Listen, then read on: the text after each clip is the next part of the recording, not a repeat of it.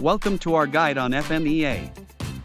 FMEA is a proactive approach to identifying potential failures in products and processes. Let's dive into the details. Step 1 Brainstorm potential failure modes. This involves reviewing the process or product and identifying potential failure points. For example, in baking a cake, one failure mode could be that the cake sticks to the pan.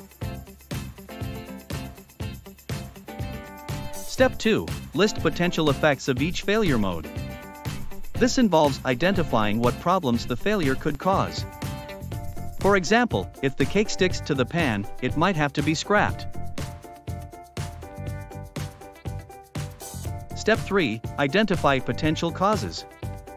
This involves determining why the failure mode might occur. For example, forgetting to butter the pan could be a cause of the cake sticking. Step 4 Assign ratings for severity, occurrence, and detection. This involves rating the seriousness of the effect, the likelihood of occurrence, and the likelihood of detection.